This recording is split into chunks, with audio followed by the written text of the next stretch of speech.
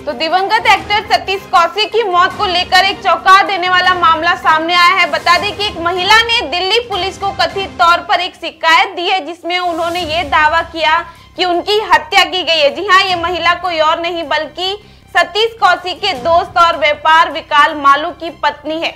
बता दें कि इस महिला ने यह दावा किया कि उनके पति ने पंद्रह करोड़ रुपए के विवाद में सतीश कौशिक की हत्या की है।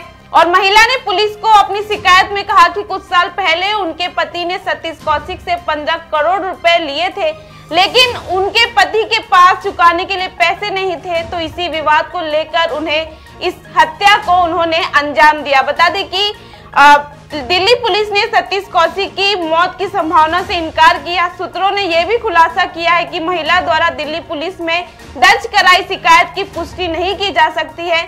लेकिन ये भी कहा है कि इस कथित शिकायत पर अंतिम फैसला फ़िलहाल आना बाकी है। इसमें शामिल पुलिस अधिकारी या तो शिकायत की सत्यता की पुष्टि या खंडन करेंगे। बता दें कि जिसने उनकी मौत के बारे में कोई संदेह नहीं जताया, अब तक की गई पूछताछ में कुछ भी संदिग्ध या फॉलोअप नहीं मिला।